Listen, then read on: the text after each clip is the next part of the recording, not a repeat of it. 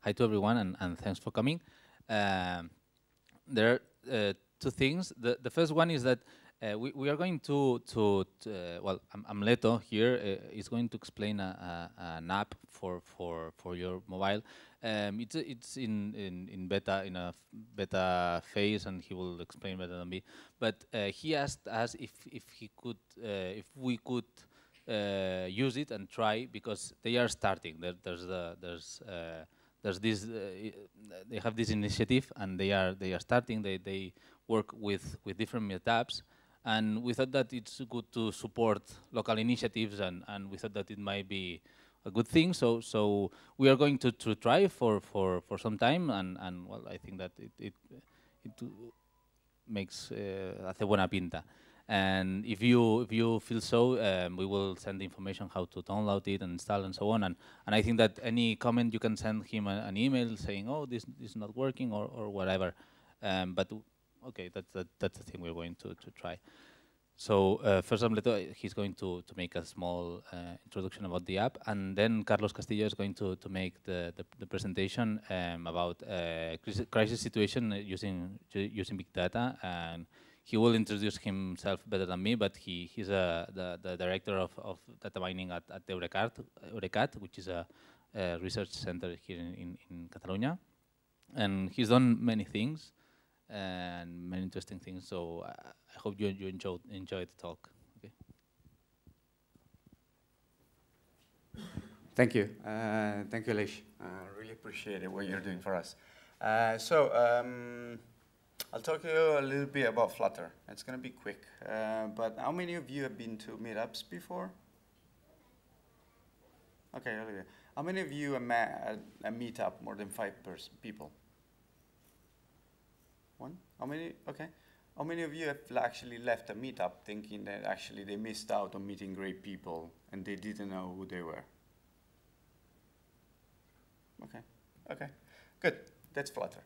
Um, uh, we're building a, it's, it's a company, it's a platform, uh, it's not just an app. But what we are trying to do is actually allowing communities to come together. And uh, I actually go to quite a few meetups, uh, professionally based meetups things about business. And um, many times I leave and, or a conference too, and I, I, I, think, okay, actually, I'm missing probably a lot of the interesting people I could meet. I don't know who they are. I just generally talk to the people that are next to me, uh, sitting next to me, or drinking a beer next to me, and I think it's a, it's a shame. Uh, and the other thing is that generally between meetups, there's a lot of knowledge that could be shared, but actually it's impossible if you don't know everybody that is in the meetup. And for example, the meetup forum or the comments uh, doesn't work.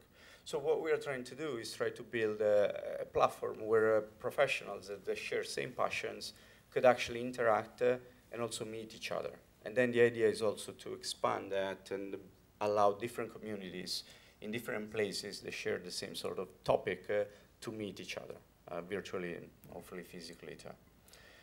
So uh, this is the beta version. That it's it's not a beta version. You'll see it works extremely well now. Uh, but basically, there are a couple of functions. One is members geolocation. So for example, if you download the app, you can see everybody that is here, and you could see their profiles, and then connect with them. And the idea is that that way you could actually meet people that might be useful for you to work with, or might be interesting to meet, uh, and to have a discussion with. Uh, but then if you see point number two, that's the point where you'll find the professional communities. So now we have a few professional communities in Flutter. You will find the machine learning Barcelona BCN in there. And the idea is, uh, you'll see later, but that you can share things. You can share doubts, questions, uh, everything you want, articles, uh, and everything you want. And then if somebody's posting, that gives access to a professional, to a profile, a clickable profile. So you can see who that person is, the LinkedIn profile, and decide if you want to meet them or not. One other feature is the, actually the members' feedback. So if somebody, we don't like spam, we hate spam actually.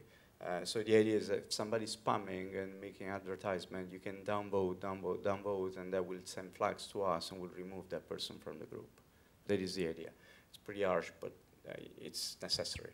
Uh, and the other thing is you can upvote. If somebody you see is posting good things, the idea is to upvote them, and then what we want to do is basically a weekly digest or and a monthly digest where the best posts, the ones that get more upvotes, get sent out and shared with the community and other communities too. Uh, there's quite a few more functionalities like chats that you can see in there, but the most important ones are these ones. Uh, the one is the first one is around me. So there's a functionality in it to see whoever is around you and uh, decide what, what you want to do. Now in the app we have about 100 people and there are actually some very interesting profiles. So the first one, you know it, it's Alish. Uh, the second one, uh, she's a data scientist that we met, uh, and she has an amazing background. So if once you have the open, I suggest you to go in and, and look for her. Uh, and then the third one, uh, she is a guy that actually built a company in San Francisco, sold it to Apple, worked for Apple two years, and now he's here, he's here in Barcelona, and he has an extreme, extreme wealth of knowledge about everything that is going on in the, in the, in the valley, if you're interested. The second part that is interesting is my feed. So for example, there I shared a, an article that I found extremely interesting about deep learning. Uh, there's a lot of debate ongoing, and uh, as you know, about uh, deep learning and AI. But the idea is that you can share anything. If you want to share an article, ask questions, and the community is the thing for the community to, to learn. Our objective is for people to grow in their passion on topics uh, by interacting with other professionals. So that's the whole objective of Flutter. Uh, so, I mean, a few things. Uh, there's definitely direct communication that generally you miss between meetups. Uh, there's continuous interaction that you can have uh, with other people that participate in this community. You can establish new connection, but then the idea is to grow the community because if it becomes a kind of an ongoing thing, more, in more interesting people will come in because they know this great community, and more interesting will become for all of you too. Uh, so as I said, grow the sense of community, uh, the whole objective of it is to create quality interactions, and that's what we're trying to do, and there's no cost, I mean, it's free for everybody. Uh, uh, we are not looking for money at this point at all. So, I mean, this is Flutter. If you want to download it, I actually posted uh, two things uh, in the comments of the meetup. One are the, the uh, Wi-Fi details, so you can connect to the Wi-Fi, you can get a good connection, and then you need to go to flutter.in, like uh, fluttering it would be. And then basically you put your email address and we'll send you the invitation out and you can download the app. Okay, thank you.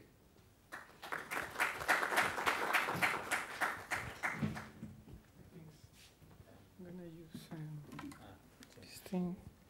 Um, another thing, uh, we, we are not a very large crowd, so don't be shy and ev everything that you want to ask, please ask Carlos, and, and it's, it's quite informal, so don't be, don't be shy and and ask.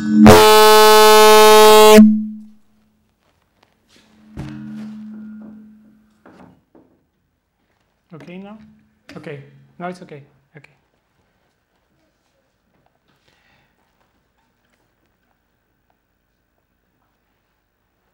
Okay. Good afternoon. So yes, as Alex said, uh, we can make this more like uh, conversational and, and interact me. And I have a ton of slides and it doesn't matter if we see only a few of them and then uh, we discuss more and learn more. Um, so this talk is not about machine learning. It's about uh, applied computing and where, where there are some elements that are uh, from um, machine learning you will, you will see. It's more like how, how you can apply some very simple uh, techniques to a very interesting problem. So I work on crisis data and disasters data. So I always look for uh, emergency exits. So this room has four, two in the back, two in the front, and one bicycle here. So if there is a fire, you can jump over the bicycle and then exit the, through the emergency exit. It's going to be fun. Um, I study the information retrieval and I work on a lot of things that are not really much interest to you right now. But, but I think what's really interesting is that most of this work I did while I was in Qatar. Uh, Qatar is that tiny peninsula attached to a larger peninsula, which is the Arab Peninsula. It's an Islamic state. It has, it has the largest GDP per capita in the world, far exceeding the one of uh, many uh, European countries.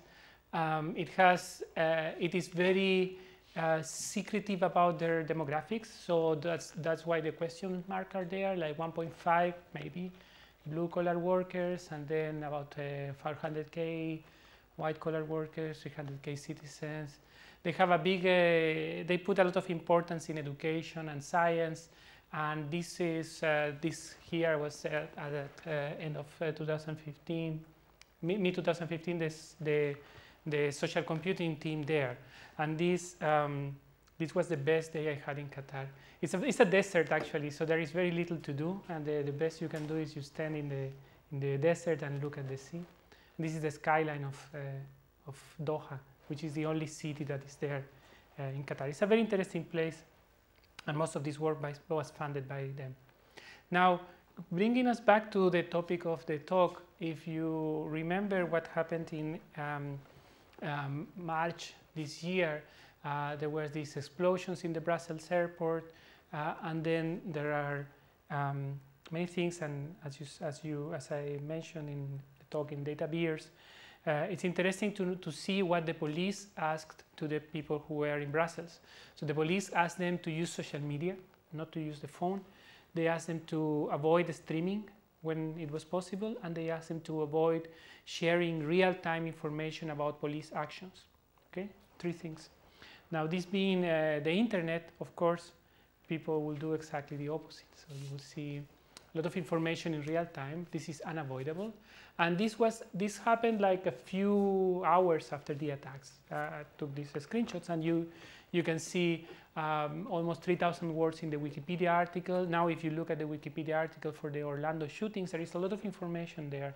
There are lots of references, um, many YouTube videos, Facebook pages, images, photos, uh, a, posting in Reddit with 17,000 comments, uh, and so on. There's a, there is a lot of data uh, here.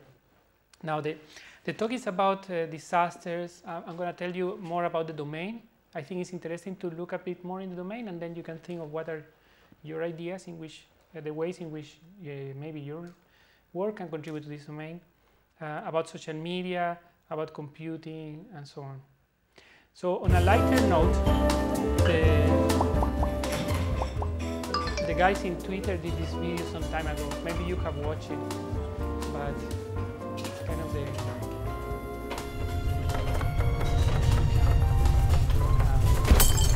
what, what you can do with the social media. Now, if you if you think of this, if you try to do the math of this thing, okay, can I receive actually a tweet before uh, I get a shock waves from an earthquake? Uh, the answer is more or less yes, right? So you have uh, um, uh, some speed for the for the seismic waves. Uh, you have some speed for the tweets, and one is much faster than the other. So you can have like a, after 100 kilometers, some messages about a, an earthquake overtaking the actual earthquake. Now, I started to work on this topic in uh, January 2010. Uh, I was in Barcelona at the, at the moment, um, and there was this big earthquake in Chile uh, this is uh, in Concepcion in the south of Chile. And uh, I called some of my colleagues at the University of Chile. That was my um, alma mater. And I, I, I asked them if they were okay and if their house was okay. And I also asked them if they wanted to do a paper out of what happened, right? And they said that something that was very interesting to them was whether social media and Twitter in particular contributed to the chaos that uh, followed in some areas uh, the earthquake and to the feelings of unsafety of the, of the people during the earthquake and so on. So there were many research questions there. We eventually ended up working in some of those questions. I, I will show you in the, in the rest of the presentation.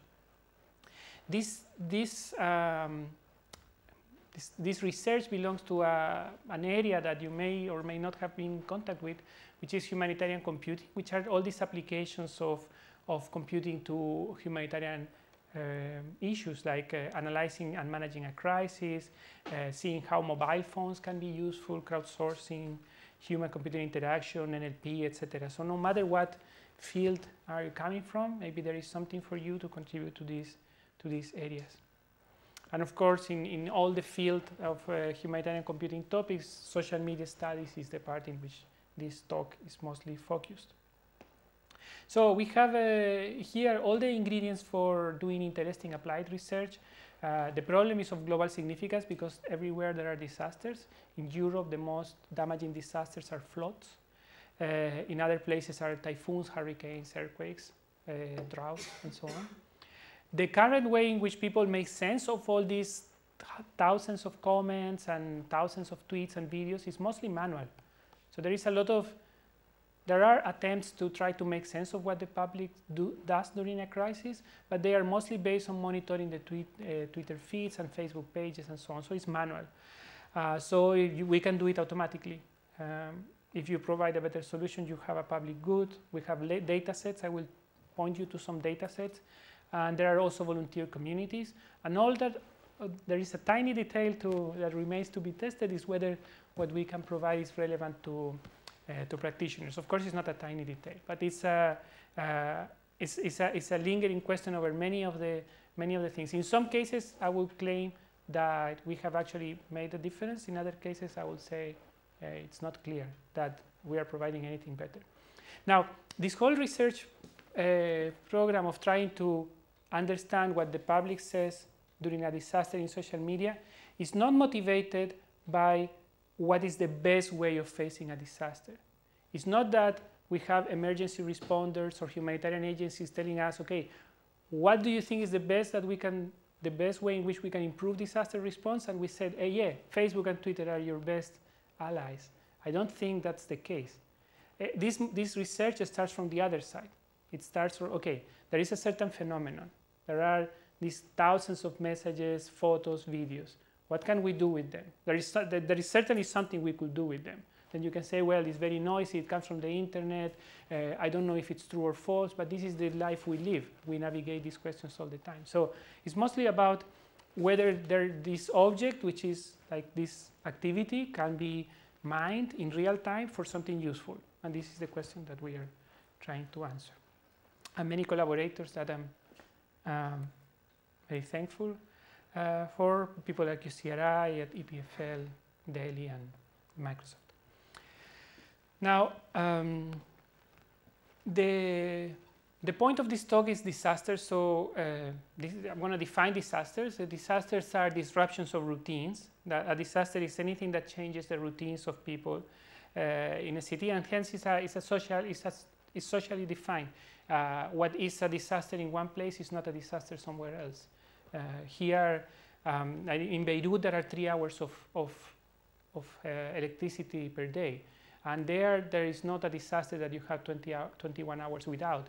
Uh, in Barcelona, 21 minutes without electricity will be a, a, significant disruption of routines and hence could be uh, called a disaster.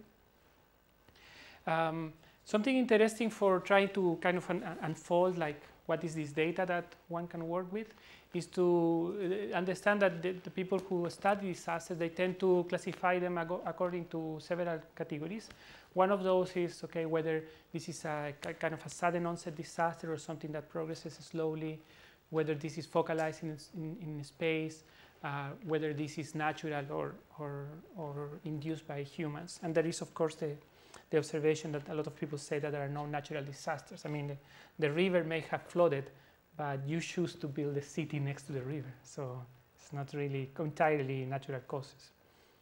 Um, here are some examples. Now, most of what we most of what we know about disasters is heavily modulated by what we learn from movies because we are exposed to a few disasters during our lifetimes, but they are not really uh, very generic uh, cases and we don't have enough data points to generalize well. So we tend to, I mean, this is what uh, sociologists, of, sociologists of disasters tell us, is that we tend to reason about emergency situations and disasters based on what we see in movies. It's very influential. So have you seen the movie on the left here? Anyone? You have seen, you, you saw it in the entire thing? Is it good? It's amazing. so the movie is uh, called uh, Sharknado.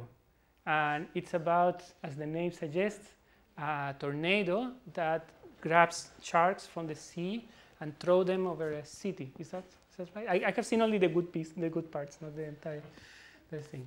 Now, the, the right side is a real disaster. These are floods in Brazil. Of course, they look very differently, but I'm perhaps picking a very particular data point. This is more interesting. So the, the, the left frame is something that no movie director will ever film, most likely. Like I've never seen a scene like that in a movie.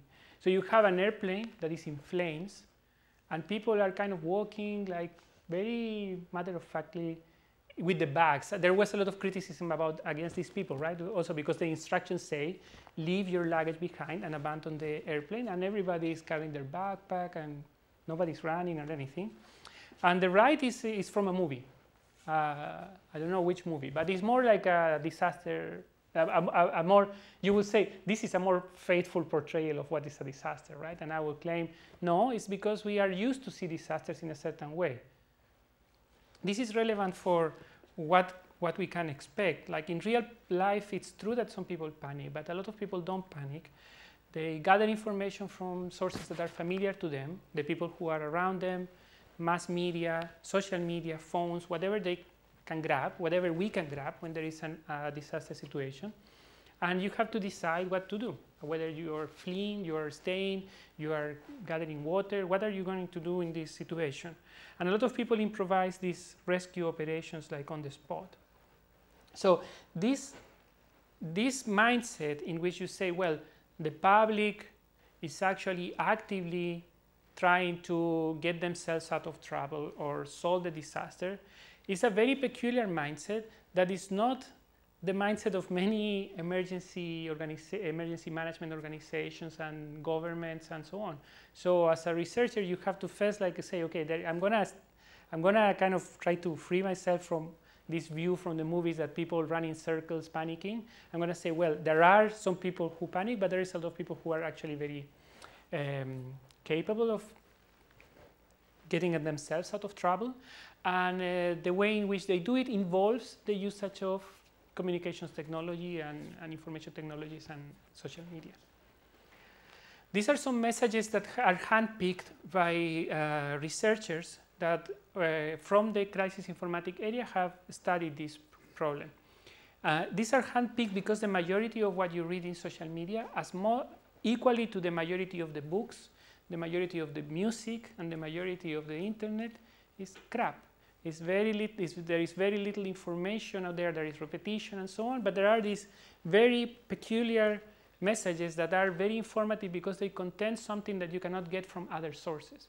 Uh, you, you do not know, maybe you do not know exactly what's the height of the water in a place. Maybe this is, this is one of the messages that broke the news when there were this attack in Norway. So the, the, the first news about this disaster were actually posted in social media. So then the question is, can we try to very quickly, as this thing happens, detect immediately that, it's, uh, that, that, that, something is going on? Um, now, the scale of this thing is actually large, but not so large. So it's large but manageable. Uh, it's large for humans, but it's not uh, large from, from, let's say, uh, like a big data perspective. So the day the Pope Francis was elected, the peak uh, rate in Twitter was 2,000 messages per second. Now it's 2,000, I mean, a, a, tweet is like four kilobytes, so it's not really a ton of information, right? It's, it's, it's, it's, it's, it's, it's, it's a small quantities of information. Now, what happens is that it's coming very fast. And in those 2,000 messages about the Pope elected, maybe there is some interesting information. Maybe somebody started shooting someone. Maybe somebody planted a bomb somewhere. Maybe uh, there is a reaction that is very important that one need to handpick from that, from, from what's going on there. The same now in, the, in typical disaster situations, you observe like hundreds, 500, 1,000 tweets per second, and much more in videos, Instagram photos, uh, and many other sources.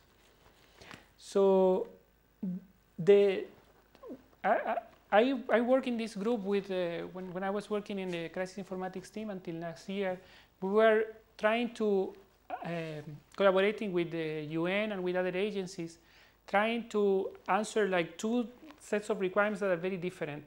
And maybe they also have appeared in, in, in kind of applications for data mining that you have built that use uh, citizen data. Uh, some people want to, uh, th this, the, the, second point is the easiest. This is, this is what, what we tend to focus on.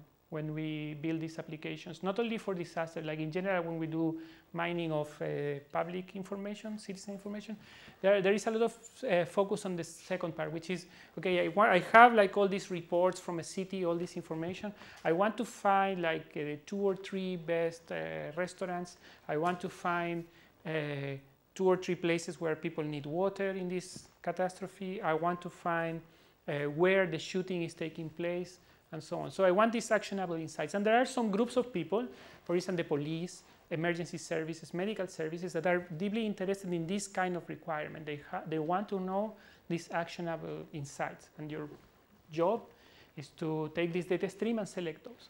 But there is another part that is much less explored uh, from a data perspective, which is to try to understand the big picture. So there are agencies that ask us like a very, in a very direct manner, okay, can you tell us, like in five minutes after the typhoon uh, passed through the capital of a country, can you tell us more or less how many people were injured or how many houses will need to be rebuilt? Uh, or how, what is the amount of damages that the typhoon caused, uh, caused, like based on these preliminary observations? The answer is no. I mean, no, not yet. But then the, the question is, then what is, what is the right mechanism to do something like that? So can you tell us from in, in the case of other types of application, could you be able to tell from all the social media activity around Barcelona whether employment is going to recover next year or not, uh, or whether there is a, whether house prices are going are going up or down. Like all these kind of big picture questions are have received much less attention than the questions related to kind of uh, actionable data points. Of course, you can build a big picture with the actionable data with the po data points with the isolated data points, but perhaps there is some way of modeling this directly. Okay, I'm gonna pause. Is there any, I, I haven't given you time for questions, but is there any questions so far? Comment, anything? Okay, I will move on then. So the, the typical uh, the, the, typical thing that you do when you are facing like, okay, coming back to the disaster scenario, you have this stream of uh, messages about the disaster and you want to do something with them, right? So the typical reflex of a, a data mining is to classify things, of course. Now, um, for classifying messages, you really need to be able to do some text mining. So how, how many of you work in NLP, natural language processing? So anyone? One, two people, right. The rest, a bit with text. One, great. So I, I think what's was what I will say is that most people that work on machine, no, no most people work, people who work in machine learning are not afraid of text. But I would say people who work in computing in general are afraid of text. Uh, people tend to work only with data that they can, that, that, that is kind of readily available. Like people tend to be very comfortable working with a data table and now with the nested columns. No, there's no problem. Uh, like some structure, time series, people are very comfortable working with that. People are deeply uncomfortable working with text, uh, particularly um, computer scientists and computing engineers. They say, well, I'm not an NLP person, so, uh, or I don't know how to process text. I mean, maybe not you, but I've seen a lot of people who, who react in this way when you tell them, okay, let's try to understand what people are saying in this city, what people are saying in this disaster. And the truth is that you don't need to know much to work with text. So there are many tools, uh, there are many well-established methods, there are mature software libraries, there are libraries for doing anything like uh, dependency parsing, identity uh, extraction, linking. There are lots of tools that are readily available in case you want to understand text, which brings me to the um, um, Chinese room analogy. Do you know it? Have you heard about this thing, Chinese room? Yeah. Okay, that's enough for me. I'm going to skip it. But if you want to some interesting reading, take the look for this thing. It's really interesting. And, it, and you get a better sense of why I'm telling you that you shouldn't be afraid of text. Other times you do need to be afraid of text. so for instance, take this, uh, this kind of message that um, is posted in social media. So try to parse it with your um, 11,000 million neurons and see what comes out of it. So, um, so to understand this message, you, you, first this is probably beyond the reach of a computing algorithm, beyond the reach of most people, unless you're familiar with Indian politics. Uh, because there are lots of context information here. So there is a um, China NC an, uh, is, a member of the parliament. Uh, RSS is not the party of China NC, but it's a party that is, has close ties to, to the party of China NC. And the photo on the left, uh, which represents um, a party militia going to help in Nepal for the earthquake, is actually an old photo. It's a photo from two or three years ago. So in order to understand this, you need a lot of context. It cannot be done independently. So understanding social media, like trying to extract meaning from this content is very difficult. You, you are basically looking at a conversation. Uh, there are people use fragmented language that is not grammatically correct, full of typos, uh, abbreviations, and lots of other things. And it's also conversational, so people answer to each other. And then if you don't know the history of the conversation, it's difficult. So understanding this in general is not so, so easy. So for instance, this was after the, the attacks in Belgium. Both messages, you can understand them as, uh, both, both messages show sympathy in very different ways.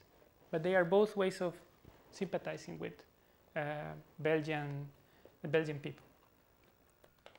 Slang is easy to, to manage. And then, well, typically you start classifying this thing. So um, let me show you some, some example, like more domain-specific example, like uh, what we did, like classifying these, these messages from social media. So these are the, um, let me, maybe I, maybe I can, I can show you this, for instance. So um, this is, these uh, colored bars are, each one of these bars represent a disaster. Uh, these are data samples from Twitter. And uh, for instance, the left one is an earthquake in Costa Rica in 2012, uh, floods in Manila in 2013, uh, Typhoon Pablo, floods, floods in Sardinia, an earthquake in Guatemala. Um, there is, a, there is the, the, the, the, next to last is the derailing of that train in Galicia in 2013. You remember? This happened in, uh, in Galicia, a, uh, high-speed train was going even higher than necessary, and uh, um, it derailed.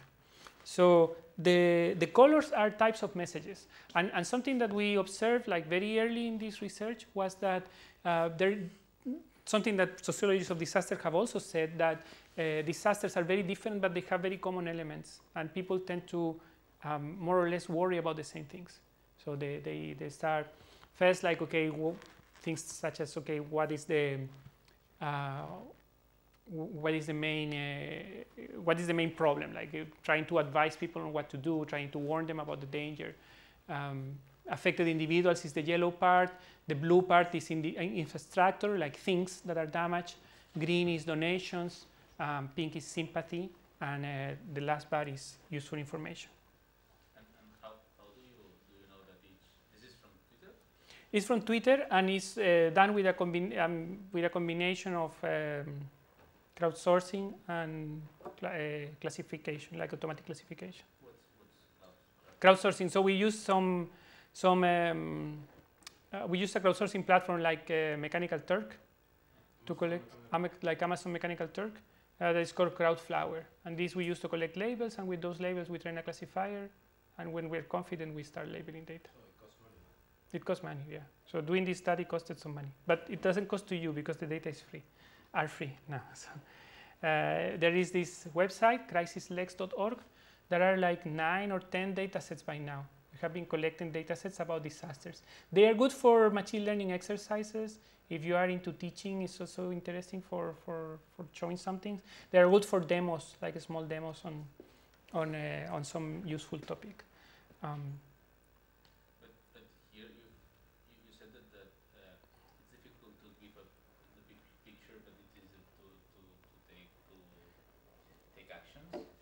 Yes. Here it's the, the, other way around, right? I mean, from, from this is it's it's like a clear picture, but but you don't know what to do with it. Right. So this this is, I mean it's interesting. What can we? So suppose you take a disaster and you say, well, in this disaster there were there are lots of messages about donations and very few about uh, infrastructure damage. Now we did several attempts at relating that with actual physical variables from the disaster, like for instance, official reports of people dead, injured, and so on, houses damages. We never succeeded. So this was, we tried many ways norm of normalizing the data, of interpreting like what should we count, like one tweet, one person, should we normalize by the, by the activity in this part of the world in the previous week when there was no disaster and so on. So we had some data set that was very appropriate for this, which was a typhoon in the Philippines that affected several islands. And then we knew in each island what was the amount of damages, infrastructure damage, and um, injured people, and so on. And we wanted, and we had the Twitter data, and there is some correlation, of course, but it's not really uh, obvious how this variable respond to the actual magnitude of the disaster. We have the conjecture that, uh, that this is, is concave. So if you have, um, if nothing happens, then nobody tweets, like nobody posts tweets about disaster, right? If something mild happens, then people start getting more um, excited, like they, they write more about this, this thing that is happening. Now, if the thing is really serious, then they start uh, having less time or less inclination to post about this in social media. I mean, I mean a, if a meteorite wipes the Earth, then there will be zero messages in the, in the extreme, right? And then maybe there is a sweet spot where the disaster is really important, but it leaves you enough time and, in, and inclination to try to post some information. So it's a weird relation. I, this is why this is difficult. Um, no answer yet. So we also observe a, a, progression of these things over time. And this was uh, across 26 disasters. And now, even if you think of the Orlando shooting, well, there is no infrastructure. I mean, infrastructure damage is not the most important issue. Uh, in other cases, it is. Uh, but there is like this, this progression where people say, well, look out, there is a shooting. People should leave the Pulse uh, nightclub. And then people start expressing their sympathy, support, and then describing, okay, who was killed, who was injured, and then trying to give other, other information that is more specific, and then donations and volunteering, sometimes in a framework of days, sometimes in a shorter framework. This is very of course, disaster, every disaster is different, but there, is some, there are some commonality, commonalities. Um, you can extract information from these uh, tweets. You can extract like uh, what's the important part of the, of the message, what is the time, uh, what, who is the person posting this message. You can, there are many things that, that one can do, extract hashtags, URLs, uh, and this is some, some example of, of information extraction here. Um, these are the same. Yes. One question: How do you process uh, the tweets coming in, um, written in different languages?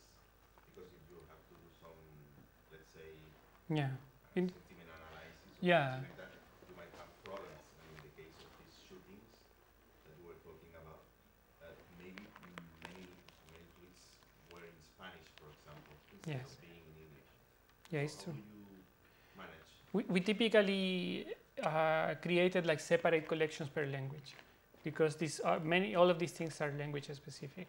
The, uh, you can I mean in some cases like when when you need like a quick and dirty solution you can build like a classifier that works across across languages like uh in many cases here you have no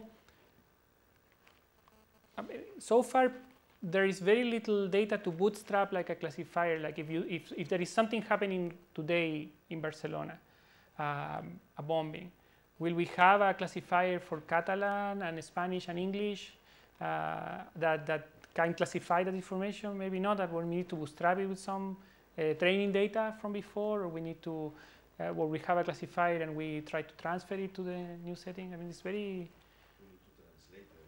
you, to, you may, maybe you need to translate.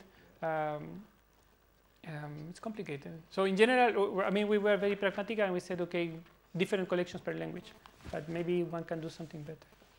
It's a good point. And, and the same with information extraction, it's not only for classification. So, so another thing that we did it, um, was to try to identify people asking for something with people needing something. And this, this was done independently by other group also in Japan. And they came up with a solution that was very similar to ours. Uh, so you basically try to locate this, this kind of uh, the important part of the tweet. Like you have a you have a phrase. I mean, the tweet is 140 characters, but it has a part that is more important than the rest.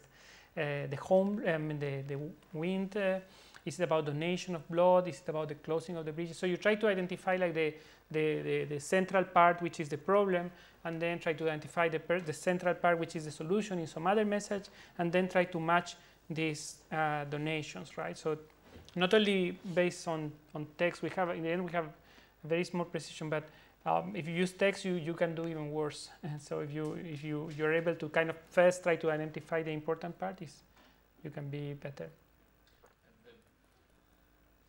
This is kind of complex, right? Because even even though even the, you, you knew which which is the necessity and which are the, the donors, for Mm. instance, you, you have to make a match, and it's not trivial also. Or, or Right.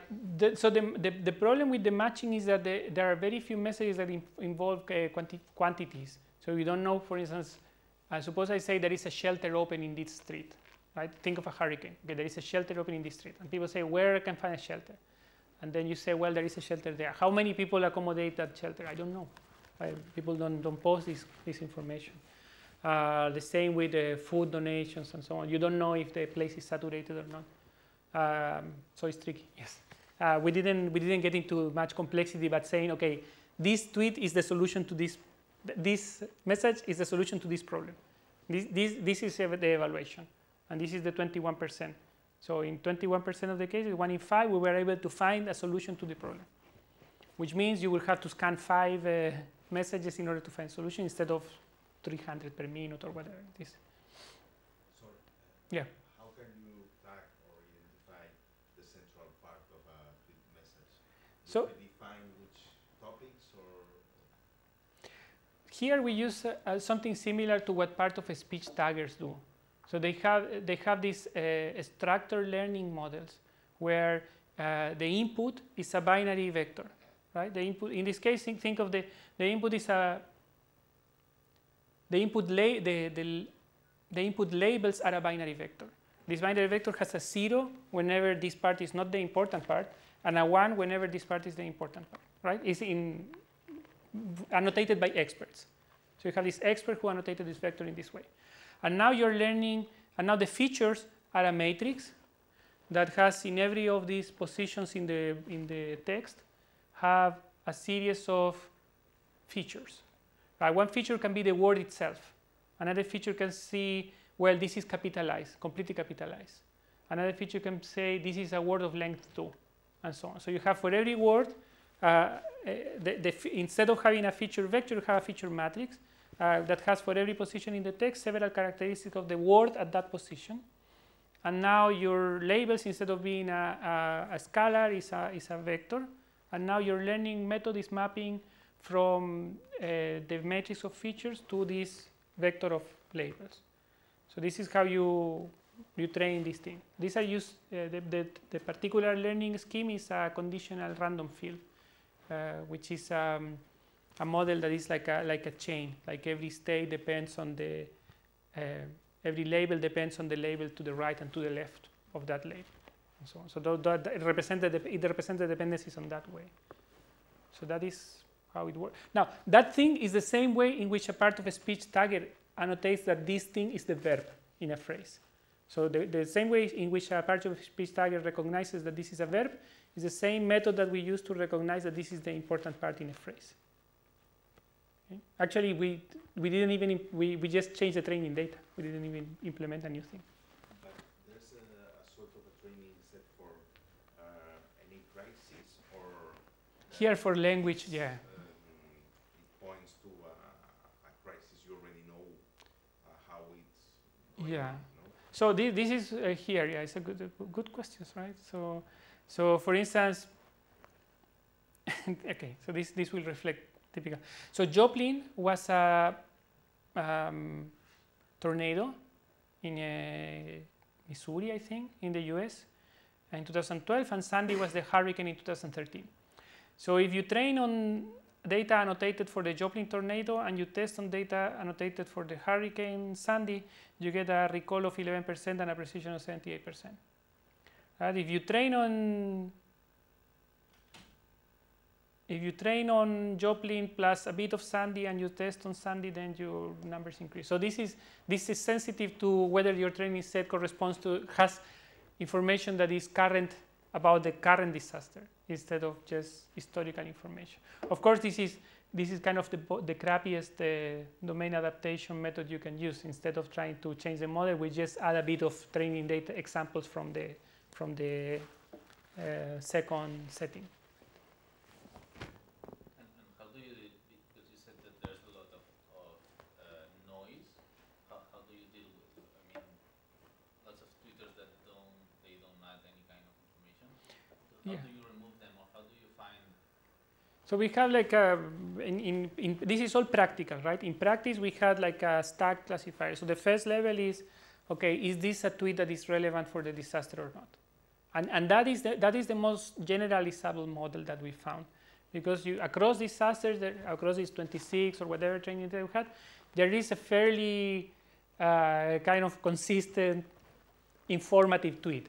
It is, it is a tweet that is long, it contains places and locations, it is well capitalized, it doesn't end with a smiley, like it has like a certain shape of a we- well written. So you, you start with that and you filter a lot of things, and then you start digging into, okay, what category this is. Okay, this is a problem tweet. It's a tweet describing a, a problem, like a, and which type of problem? Death, injured person, or damage infrastructure and utility. Okay, and then you go to that branch, and in that branch you, you start identifying, okay, what's the name, what's the root of this problem. Uh, it's all practical. mm. So you remove a set of tweets, maybe, that uh, there's um, an important tweet that has been retweeted lots Right. of times, maybe you're removing all those. Right. Or, or things that are irrelevant. There is a lot of irrelevant information. I mean, so, I mean, um, yeah, I mean, the, tomorrow there can be an alien invasion and people will still be tweeting about like uh, lots of other things. It doesn't, I mean, it doesn't go away with a disaster. This is very weird. You have this, these heavy disasters and people tweeting about like insane things like. Okay, so let, uh, um, it's, it's 8 p.m. I'm gonna go until 8:20 maybe. Is it okay? Okay, 8:15 and then uh, then. So um, disasters have a very important geographical component, and this is a visualization that was done by the people in Facebook. I show it in the database, but now I can discuss a bit it a bit in more detail. So these are the people who use the safety check. Uh, these are the friends of the people who use the safety check. Safety check is something that pops up in Twitter when you are in a disaster, in Facebook when you're in a disaster area. And then uh, these people in yellow are, um, that's going to appear in a moment, are, these are people sending donations to Nepal and money. And people all over the world sending money to Nepal. From Japan, you see Australia, North America, Brazil, uh, Europe, um, lots of money flowing into this area. Now, the, the- just as people can contribute money, there are lots of people, and this is what makes this setting like really interesting, is that there are volunteers. There are people who are willing to provide these annotations. In the case of research, we use a mixture of paid annotations, like through Mechanical Turk or Crowdflower, plus volunteered annotations. So the volunteers annotations are, much more, are, are much larger data sets. Um, volunteers are motivated, volunteering in digital volunteering with respect to disasters started with uh, um, basically with the work of the people in Ushahidi, which is a, a company in Kenya, that uh, they, they have a platform for community powered mapping. And uh, this was picked up by this uh, guy, Patrick Meier, he's uh, one of the pioneers in this space, and he, he, he is very fond of maps. Um, people have been producing these community powered maps for a long time. Uh, these are more modern versions like where is uh, Zika, uh, whether, where is a pond of water. Then for Syria, there have been maps running from a long time. Um, these are some of the maps that we produced in, um, in Qatar. Uh, this is for Typhoon Pablo in the Philippines. And these are, um, these are maps produced, um, these are other types of maps, right? These are graphs, they also map things. Now, um, the, the maps I show are, are powered by people. These are powered by algorithms. So in this case, uh, this uh, uh, is researched by a group of people who study floods in Germany. The top part are the water levels, and the bottom part are is a kind of a heat map of the um, of tweets uh, saying something related to floods. And if you are really generous, you will see a, you will see um, a relationship between these two things. Now, interestingly, here you can also see the biases. So this is um, um, this city is um, I think, and it's the closest city to the river that was flooding. So it's kind of you have like I mean the physical phenomenon is you have a river that is that river, Elbe, Elbe River, the river Elbe that uh, goes in that trajectory, and it goes through a par part of Germany that is not as inhabited as the rest. I mean, there, is no, there are no huge cities in the Elbe River except for Magdeburg, which is this city. So in a sense, like the people bias, I mean, people are located there, so they kind of bias the reports towards themselves, right? You, you, you kind of see the flood where there is people. If there is no people, you don't see much of the flood. This is similarly done for dengue. Uh, if you look at the top, these are official reports from hospitals, like weeks after uh, with a delay of weeks. And at the bottom, you have tweets. Of course, there, is, there are also biases here. So if you take a map of Brazil in terms of population density, maybe you produce a similar map and you make us believe that this is about dengue. So it's a lot of, I mean, these are kind of very preliminary, I, I find them very preliminary results because uh, they're still very heavily biased. This is a map of earthquakes in Italy.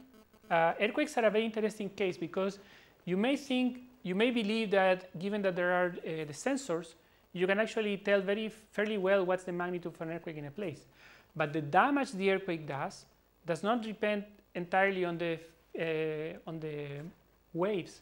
It depends on hyperlocal characteristics. It depends on well, what is the quality of this ground. It depends on the quality of the foundations of the building, the year of construction. Like it depends on so many things that, uh, that are hyper local that you don't have, uh, even with a very dense network of sensors, you don't know where exactly are the, the houses that you need to inspect or there will be damage. But people know, people can see cracks on the wall and so on and report them. And this is what this group of Italians did. Um, I worked for many years, in, uh, for, for a few years in this uh, tool called AIDR. AIDR is a, is a mixture of uh, machine learning and crowdsourcing. It, it, it's actually two platforms that communicate with each other. On one hand, you have um, um, kind of a machine learning core, which is nothing more than Weka, wrapped in several layers of uh, things to be able to auto-configure and to be used by a non-expert. Uh, so you have a kind of a, a, person who is interested in the disasters, go here, enter some keywords, start tracking some, some tweets about a disaster, and then uh, we also instantiate at the same time a micro-mapping task on the other platform that communicates with the machine learning platform. So you get uh, examples that need to be labeled that are thrown to the crowdsourcing platform and the from, from, the crowdsourcing platform we receive labeled examples and we continue iterating this until behind the scenes until the um, until we're satisfied with the quality of the classification. Now, what's interesting is that this is very easy to use. Like you don't, you don't, you don't need to, you don't, there, there is no, you don't need to select the algorithms or anything to, or the models or whatever you want to do. You just create your collection and we on the background create a, a crowdsourcing task and you invite volunteers to the crowdsourcing task and this kind of self-sustains. When, when, you use uh, crowdsourcing, mm -hmm. uh,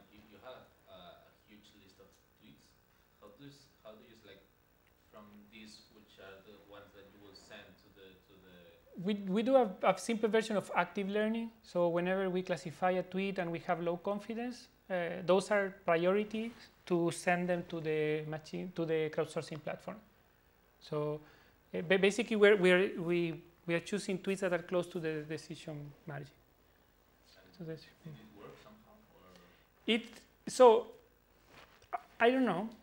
so it, it, the classification accuracy is, is decent often. Like you, you get like a, a good, you can get very quickly a separation of uh, messages that are about the disaster from messages that are not. Like, and you can set up your own things. This kind of works. I mean, the, uh, we, we were very careful to kind of choose like models that maybe are not perfect for one particular situation, but that they generalize well across several situations. Um, we need in the order of a few hundred messages per category to be able to create a, new a good classifier. And that was well within the reach of the volunteers.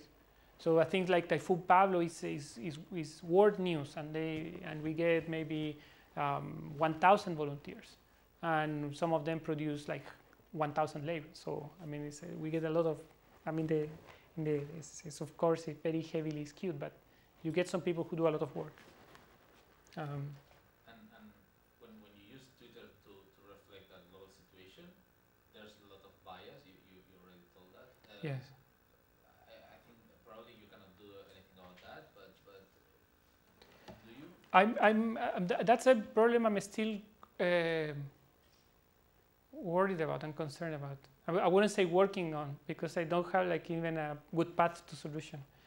But the biases are a big problem. But and biases are a big problem in all of social media research.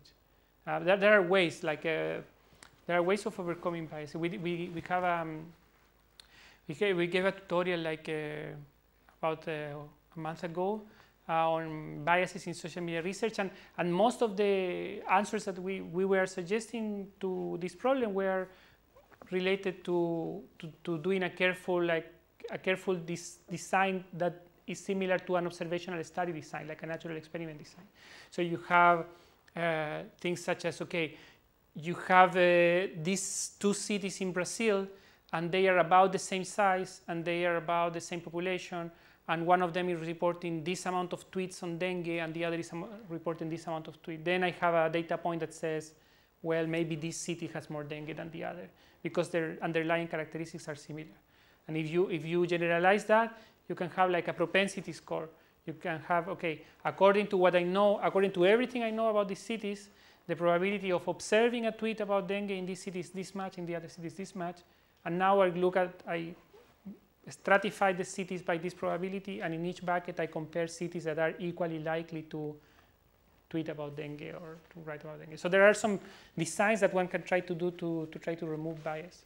But it's tricky because this is in, in the end this is kind of an you, you are you are not controlling anything. You're just observing what's going on, and then you cannot tell people, okay, now please start, please go outside and see if there is a hurricane. Like people will self-select, and I mean you have all the possible biases.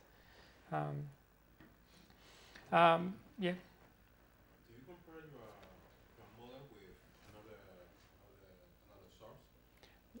So this is one. I mean, the, in, in the screen there is one one. I mean, one comparison that one can do. But we did compare with, for instance, the, um, in this same case, like uh, Philippines, like uh, damage in each island and so on. And there is some relationship, but it's not enough to be able to say. There is some causality, some relation, some, some correlation between this source, the, uh, I don't know, in this case, the Twitter, so- the Twitter source and, and the real one source. Yeah, so there is some. I mean, it's. I mean, it's clear that people on the on in social media start speaking about an earthquake when there is an earthquake. I mean, this is clear. Now, beyond that, whether if the earthquake is stronger, how much more they will speak about the earthquake, that relationship is is not so clear. Uh, it's not at, at all. And the hurricane the same. And also, it's yeah, it's it's, it's messy. It's complicated. So uh, what we can show is like this type of graph. We'll say, okay, this is the hurricane path. Those are the tweets. Uh, the, the red are photos of things that were damaged. Well, most of the things that were damaged were, most of the people who posted photos of things that were damaged in the Philippines were in the path of the hurricane, except for that guy in the bottom that uh, ruined our, our visualization. But um, the rest were all kind of in the path. But I mean, this also requires is, is a lot of um, I mean, it's a lot of empirical things like try observe different situations and see what's what happens. Okay, let me show you the last video and then go to the conclusions and then we close, we wrap up. So it, uh, maybe this needs a small introduction. So the I think the the the end goal to me I mean, one possible end goal is to be able to create systems that do real-time data mining using uh, crowdsourcing, using people, right? So you system for participatory mining of streams. Let me give you one example of that thing. So this is a UAV in Vanuatu, uh, a Phantom DJ, this uh, like uh, I think it's like six, 600 euro machine uh, that has four propellers and it can fly for 15 minutes. And what this is a, sim a simulation in the sense that this video was shown to a group of 50 volunteers online, and they were asked to click whenever they see something, uh, whenever they see infrastructure damage, right? And then the, the system, what it's doing is just aggregating, for instance, that, that guy there thought this road is damaged, and the other 49 said, no, this road is like that. So they didn't click on it. Uh, and the other, there is this long guy said, well, this is damage. maybe not really, like it's not so damaged as, for instance, the, on the right, like those. Um, that, for instance, you see there, there is a rooftop that is missing. Uh, let's see in a moment. So the drone is looking in the wrong direction, but now it's coming back. So you see there is a rooftop missing, and then there is another one here on the right. So, um, lo so look at the, uh, here. I think what's interesting are the possibilities, right? So here, this is a, a pre-recorded video, but the, the, the, the possibility is, okay, you can do a map of a crisis, like in the time it takes to fly the drone and then land it. Now, extrapolating this to other situations, I believe there is a lot of potential to create real-time data mining system that use a mixture of algorithms and people. And maybe you don't need a lot of people. Maybe you need just a few operators and like five, six people who sit there with you and watch this, whatever it is, like this news, this football game, uh, this disaster, or this map of a city, or these transit maps, or whatever, and with the help of algorithms, help you make sense in real time of what's going on and generate an output that is valuable, right? So that's the kind of the vision, like have a system for data mining that can involve people and algorithms and work in real time. Maybe you can build something like that, maybe not, who knows.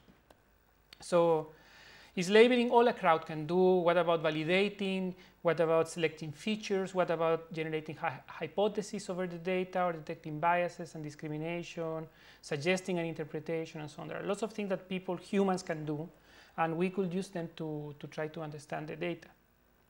Okay, I will not speak much about this. Let me finish with the conclusions. So um, this research has good, bad, and ugly aspects. The good part is that it's interdisciplinary, so you learn a lot. And it's, it's, it's really great, the experience of talking uh, to people that are passionate about their own domain, because given that you don't know anything, you learn a lot. I mean, this is the, the best part of the learning curve is when you're at the beginning, you know, you don't know anything. So every time you speak with them, you, you end up thinking, oh, this is really cool. And of course, it's stuff that they have been doing for 50 years. So uh, the bad thing is that uh, this particular domain has a lot of difficulties because these organizations are very old-fashioned uh, and they are they are difficult to engage with and they they they risk their their kind of their the organization is risking their life in every disaster because they are very easy to criticize. Right? So they are exposed to criticism. So all they do since day one is to start covering their backs. This is very important because otherwise they don't survive. And you cannot have a, an emergency administrator that is changed every time there is an emergency. And the ugly thing is that, of course, you, you have like two competing things. You want to do your research, and they want 24-7 support and so on. Um, the, this, this work, uh, I mean, most of what we do in um, data mining is here. We have the data and we have computers, so we do it. Um, there is a lot of, this space is smaller, but every now and then one can have like a good idea or a good partner and try to find something useful to do with this data. But most of what we do is here, right? This, there is no shame, I think, in that, in recognizing that, as long as we understand that we are trying to progress somewhere to this part. Uh, I, um, I wrote a book on this thing. Uh, it's called Big Crisis Data. If you are interested, you can search for Big Crisis Data and take a look at the table of contents and, and see if you like it. And if you have any other comment, you can write uh, uh to me or whatever. That's it. Thank you.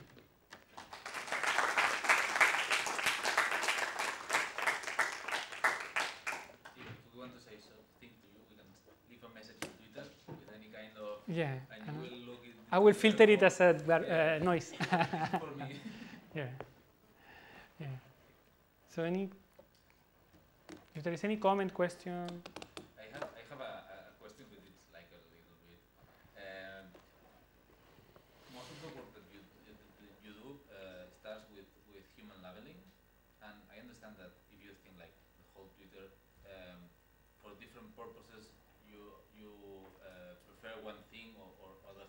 I'm trying to say is, um, for di different purposes, you analyze differently, and and uh, since there is a lot of uh, subjectivity, uh, it's like, uh, can you use the in theory, the, the Bayesian point of view in machine learning is that you take the most of subjectivity to, make good predictions.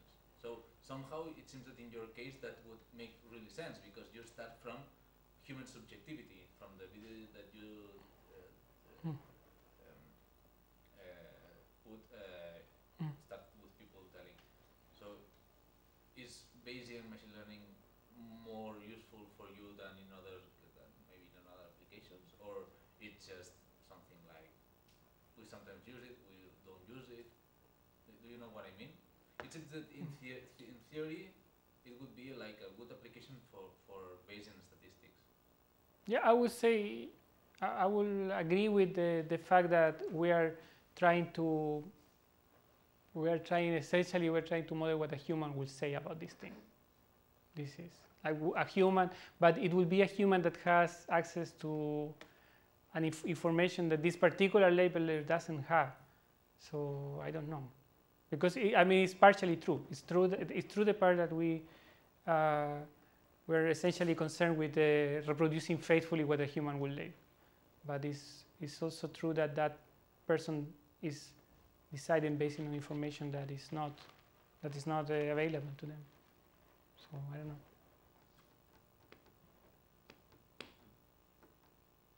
Questions? Any other questions? Comments?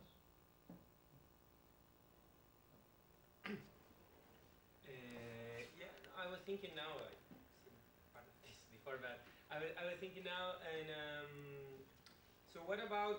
So you apply many techniques to find relevant tweets and to categorize them according to topics. Mm. But what about the implicit crowdsourcing that there are in any social network? Like in Twitter, you expect that the relevant information has more retweets, that the hashtags contains a lot of semantic information. So. Uh, So we have used that, that kind of, yeah, that's a good point. So we have used some, for instance, the propagation of the tweet, we have used for uh, determining whether people are believing what they are tweeting, uh, whether, they, whether this propagates as a credible tweet or whether this propagates as something that people are hesitant about. Uh, but, but also we have some negative results. So for instance, uh, the, just, the, the, just the amount of retweet that something has is not so much related to whether it's true or false. And we have like very false tweets that end up being retweeted a lot and very true things that end up being retweeted very little. So it, it helps for some, it, it, it, it is information that needs to be used with care and it's not only the quantity, it's about the, the propagation tree, uh, maybe it's about the number of people involved, whether people change and so on. So there is, a, yeah, I, I, that conversation, how that conversation evolves. Um, yeah. The, sorry, do you take into account the profile of the population involved in the, in the crisis? Because if they are uh, the age group, for example, it might mm, change significantly if there's much, uh, let's say, um, European or, or you know, So there are there are cultural differences. Yes, so we don't we don't we don't place that information in the models, but there are other people who have uh, yeah, probably, yeah. And there are people who have observed like heavy cultural differences in, in response of these things. So for instance, there is a very I mean very sharp div- division. There is a study that um, between uh, uh, Jap- Japan and Pakistan, like users in Pakistan trusting more social media than the government, and users in Japan uh, trusting more the government than social media, for instance.